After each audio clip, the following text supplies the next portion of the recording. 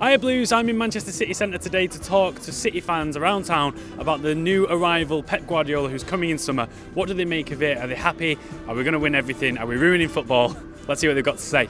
So Christian, what do you think about the news Pep Guardiola to City? What was it like when you heard it? Best, one of the best days in football history. Absolutely over the moon, and I would have done a backflip, but my ears are telling me I can't do it anymore.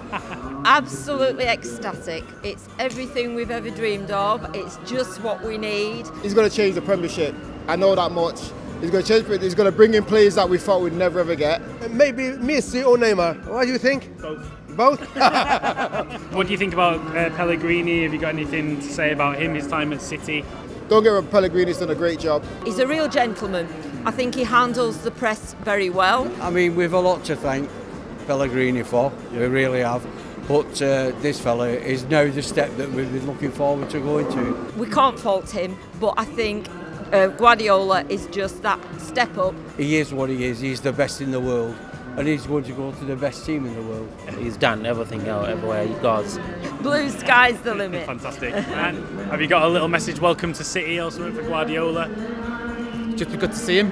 Yeah. Just be good to see him, yeah. Pep, welcome to Manchester. Bring it on United. Welcome to Manchester. Uh, all the best.